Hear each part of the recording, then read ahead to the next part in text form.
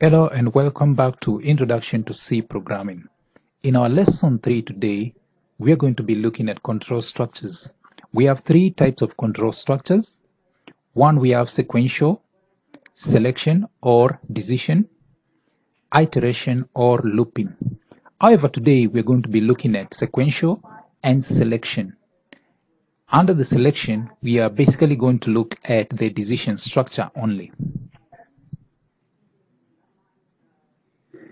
The three types of control structures we've just mentioned, sequential, selection, and iteration. What is sequential structure? Sequential is execution of code statement one line after the other.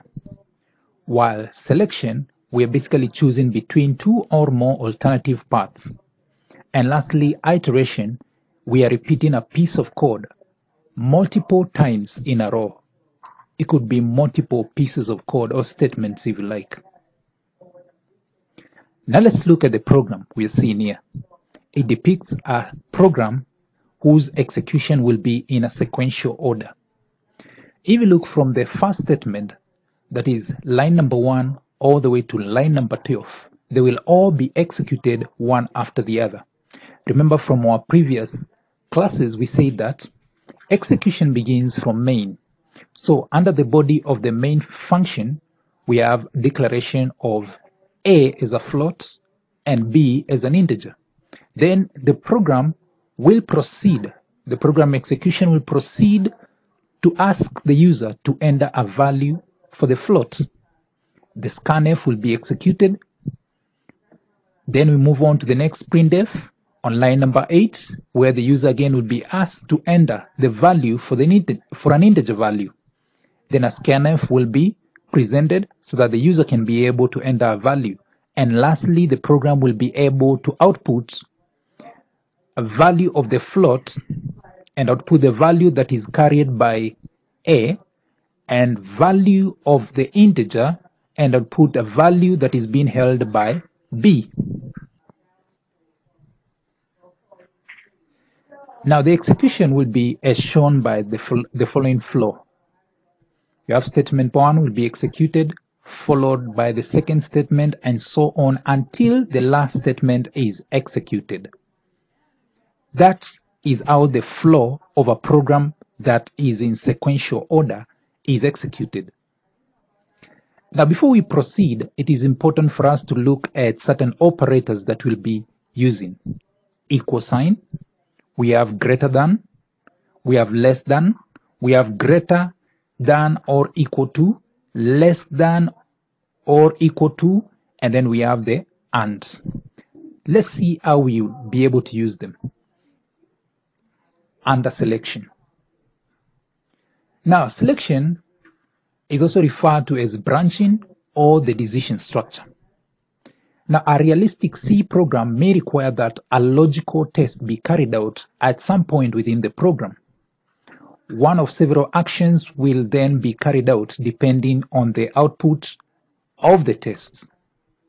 Now let's begin by looking at the if statement. It used to carry out a logical test, then takes a specific action, else we exit the if structure. That is, if the condition is not met. The else part is optional. The program we are looking at demonstrates the use of if statement. Let's look at the main function. We begin by declaring a variable int age.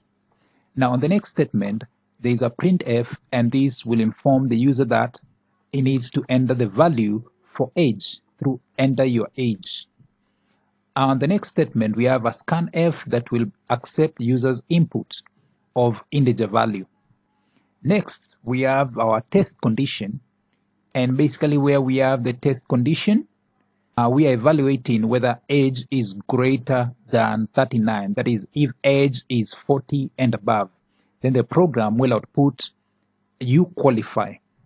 However, there is no alternative for if age is less than 40. And therefore, if you enter a value that is less than 40, the program will not give any output. Now the program flow is as shown here. As you can see, after the user makes his input, then we have the decision there that is being made. if age is greater than 39, if it evaluates to true, then we output you qualify. And then the program terminates. However, if it evaluates false, that is, if it is not greater than uh, 39, then also the program terminates. Next, we look at if-else statement. Uh, basically, it's used to carry out a logical test that takes one of two possible action. The other form of if statement that will include else statement. Now, it takes up, it takes the form if expression. That is, if that expression evaluates to true, then we'll have a statement one executed. Else, if the first expression does not evaluate to true, then we have a statement under else being executed. Let's look at the code here. Can best be used to illustrate what we are saying. Now we begin again from main. We declare a variable integer that is marks. Uh, the program will output enter student marks. Then we have a scanf that will accept user input that is of an integer value. That's why we have a percentage D there. Then we come to the evaluation where we are checking if marks is greater or equal to 40. The same as saying if marks greater than 39. Then if that statement evaluates to true, it will output pass. However, if you enter a value that is less than 40, it will still give an output. And the output will be you fail. Let's look at the other program, the previous program we just looked at. If we were to modify that program, the one for entering age, if we were to modify that program so that it can also evaluate for a condition where age is greater than 40 to give an output, again, this program can be modified as such. If we evaluate age greater than 39, if it is true, then we have an output that says you qualify. Else, if it is not true, then again we also have an output that says you do not qualify. And the program terminates. So whether you enter a value greater than 40 or less than 40, this program, because of the else statement that we are seeing there, it will be able to give an output. And the program flow is as shown here if age greater than supposed to be 39 if it evaluates true then output you qualify. If it does not then again if it does not if the condition is not true then it will terminate because there is no output for it to give. The output will only occur if it evaluates to true. Now let's look at if else statement. Now think of this if you have a program to write, that is, write a program to allocate grades depending on the statement score in an exam. 70 and above, the grade is A. 60 to 69, grade is B. 50 to 59, grade is C. 40 to 49, grade is D. And below 40, then, that is F for fail. Now, the reason why we are now talking of if-else if statement is because uh, the first if statement was to check for one condition. If else statement was to check for two different conditions.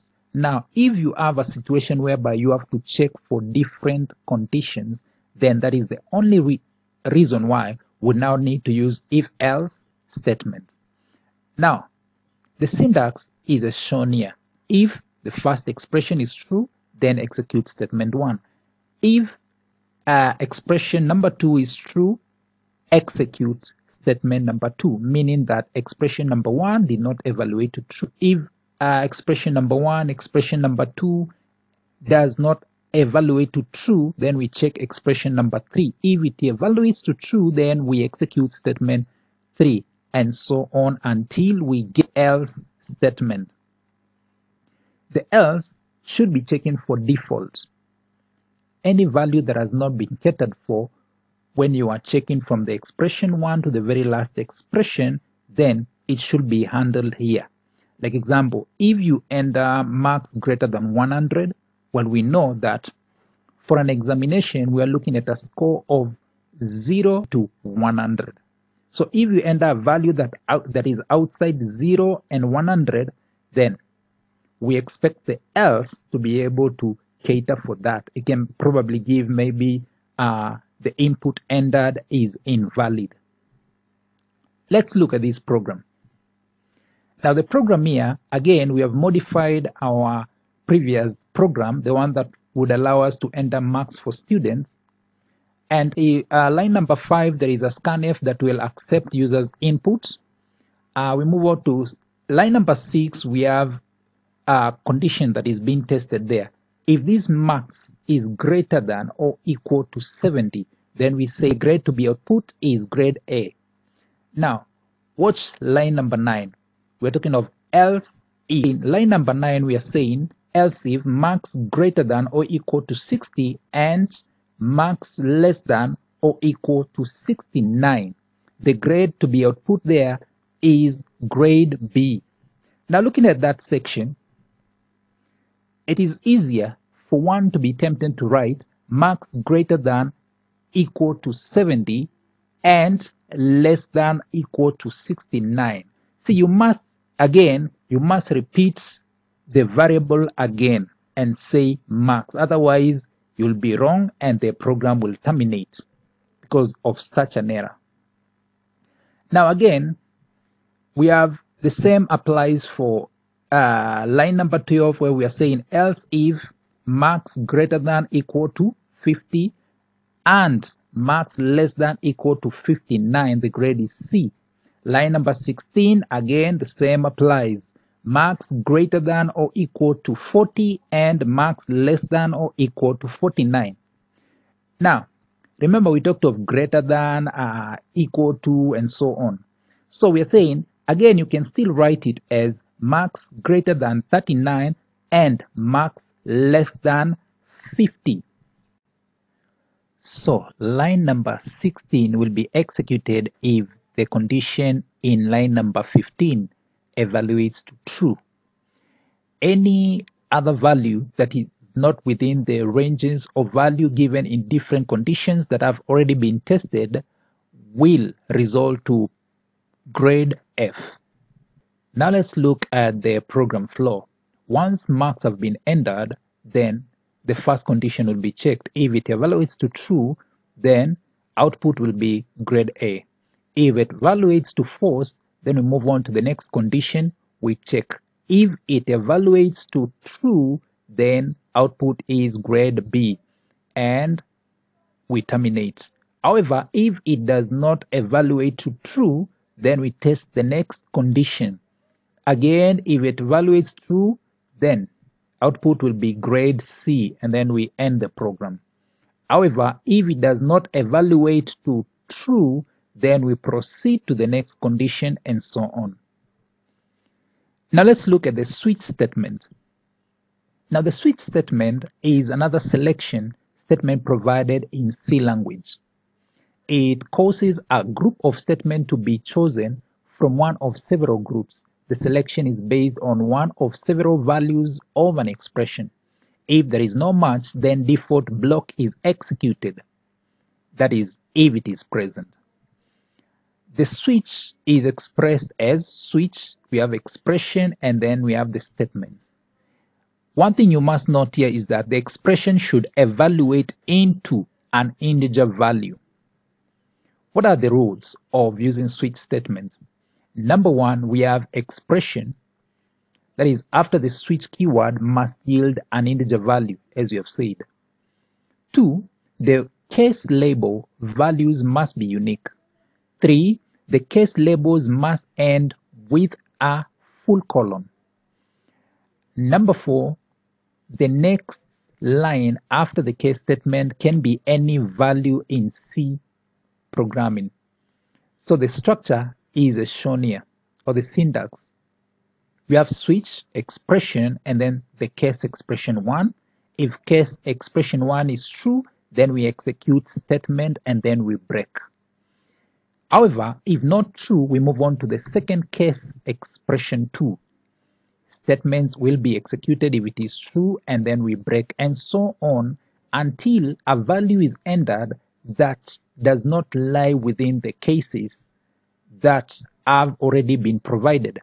It is when the default statement will be executed and then we break to terminate the program. Now, think of it. If you are to write a program that prints the name of an integer number if its digits is in a range of 1 to 2, if it is not, it returns an invalid input. Now let's look at this program given here. Uh, we begin with hash include line 1, then we get to, into the main, uh, the main function in line number 2. Under the main function, we declare an integer uh, variable number. We have a printf that says enter a digit 1, 2, or 3. We have a scanf there that will accept user input of integer value. Then we begin the switch. Notice that inside the switch, the argument there is number for the value that the user will have entered. Then we begin the first case. Case 1, that is, did the user enter value 1? If the user entered value 1, then the program outputs the digit is called 1. The second case is case 2. Did the user enter number 2? Then it will output the digit is called 2 and it breaks. Case number 3. Did the user enter 3? It will output the digit is called 3 and then it breaks. Now, if a user would enter a value that is not 1, is not 2, or 3, then the default statement will be executed and it says invalid input. Let's look at the execution of the programs on our IDE. Begin the first sequential program.